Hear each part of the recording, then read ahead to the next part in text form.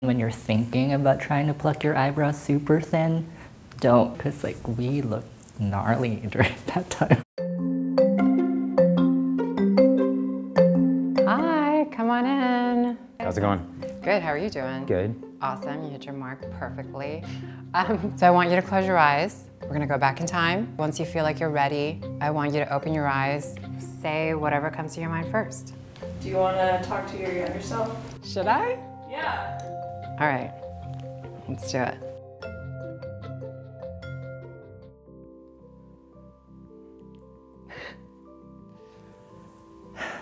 How are you, you brave little kid? I'm sorry. I'm sorry that you feel so alone and isolated. I know you're scared right now because you don't know exactly what's going on. People around you, they just don't understand right now. We want to play with these toys, they want you to play with the other toys. They don't see you right now the way you see yourself. You didn't have anything to worry about. You're not crazy. You are who you say you are.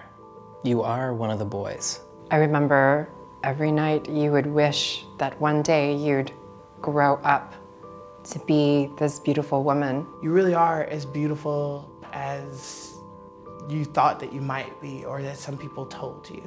You are going to be Wonder Woman when you grow up. You're gonna be okay. The future is bumpy, and you think things are going slow now. The world becomes a much easier place for people like you. There will be doctors who will help you and understand you, and other people that feel just like you do, and you'll be a part of it. Because you're still gonna be here.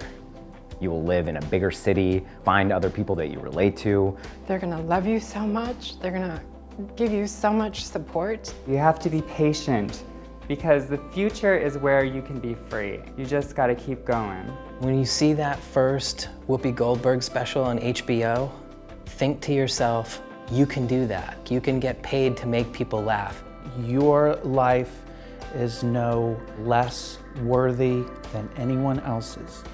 Because you're trans, you are extra special. The world is so big, and there are so many people who are going through the exact same thing as you because there's a future that waits for you that's far less small and scary than your junior high or your high school experience. I don't want to give away too much to you.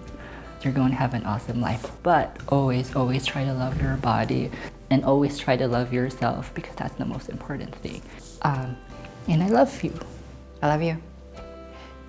Bye, cutie. Going back to the future.